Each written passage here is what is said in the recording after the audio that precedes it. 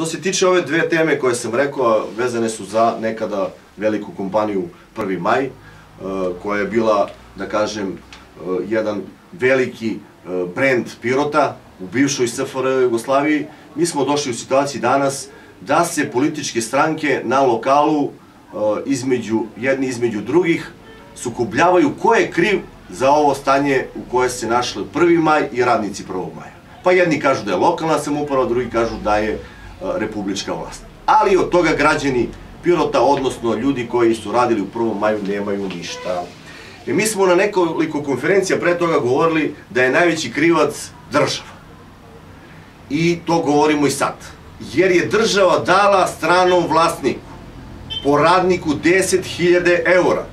Strani vlasnik je bio nekoliko meseca ovde na teritoriji opštine Pirot, odnosno u 1. maju, pa se prekrstio u Ahamuru.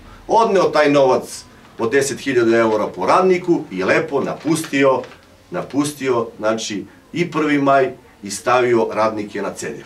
To je odgovornost države koja je trebala da taj novac koji je poklonila stranom vlasniku iz Evropske unije usmeri na mnogo pametni način. A taj način je da ili da pomogne radnicima da pokrenu svoj neki sobstveni biznis ili da uloži u proizvodnju tog 1. maja, a nađe tržište za plasiranje robe iz 1. maja. To je što se tiče odgovornosti ko je odgovoran. Odgovorna je apsolutno vlast, republička, delimično lokalna, ali pre svega ministarstvo koje je zaduženo za te resore kao što je resor 1. E, maja, privreda i tako dalje. To je što se tiče 1. maja. Što se tiče kompanije Tiga Tires, mi smo čuli, juče smo čuli informacije od strane nekih stranaka, a i mi smo dobili te isto informacije. Nismo hteli da izađemo prvi u javnost sa, sa tim stvarima, jer poštujemo kompaniju Tigar Tires, koja je, ima veliki renome ne u Srbiji, nego u čitavoj Evropi, Zapadu, Istoku i, i tako dalje.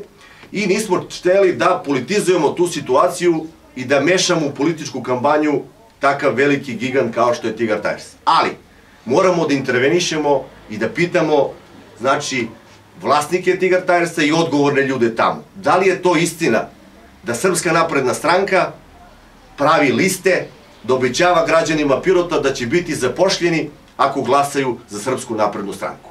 Pozivamo odgovorne ljude iz Tigra da demantuju ovo, jer vi čvrsto verujemo da Tigar kao velika i ozbiljna kompanija ne želi da se bavi takvim e, dnevno-političkim stvarima ali pozivamo da oni kažu građanima da ne bi građani eto bili obmanuti pa glasali samo zato što im neko obeća neko radno mesto.